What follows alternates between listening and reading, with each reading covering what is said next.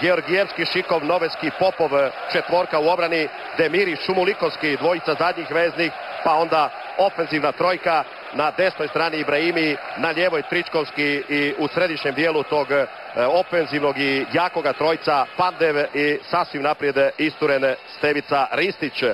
Što se Hrvatske tiče, dakle, Pletikosa na vratima, Srna, Čorluka, Šimunić, Srinić, četvorka naša u sredini, Rakitić desno, Perišić lijevo, Vukojević i Modrić u srcu naše e, defanzive i napadački dvojac, fantastični napadački dvojac, moramo to reći. Ovo je bio prekršaj Pandeva, nije se oglasio danski sudac i evo sada Ibrahimija, Ibrahimi i vodi Makedonija 1-0, 16. minuta.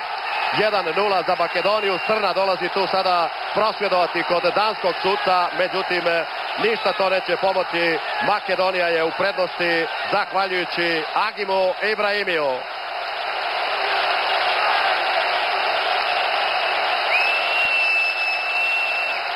Evo samo gledamo završnicu, Pletiko se je malo izašao koliko je to bilo moguće, probao to eventualno spriječiti, ali je bio jednim dijelom i pokriven i ništa tu nije mogao. Makedonija ima prednost od 1-0. Rakitić. I evo prilike Čarluka, tako je, 1-1, ma da, treća je sreća Vedran Čarluka.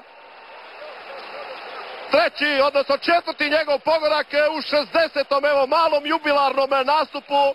Opet je malo ostala kratka tu makedonska obrana. Kroz peterac je prošla ta lopta. Bogatinov nije reagirao na pravi način. I Vedran je imao čak vremena smiriti tu loptu. I onda je lijepo zakucati u makedonsku mrežu u ovaj bliži kut Martina Bogatinova. 32. minuta, 1-1. Tu su još dvije leteće naše tvrđave, Mandžukić i Jelavić. Rakitić i Bogatinov je zaspao 2-1!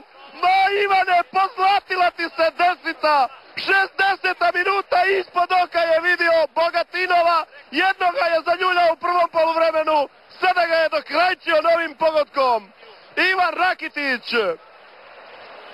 Deveti njegov pogodak za reprezentaciju, pogledajmo to još jedan put. Krenuli su naši, pa stali skakači, Bogatinov je ostao opet u nekakvom međuprostoru i šokirala ga je ova lopta koja je dolazila u ovom neobičnom i čudnom luku i Rakitić je donio Hrvatskoj prednost od 2-1 u 60. minuti.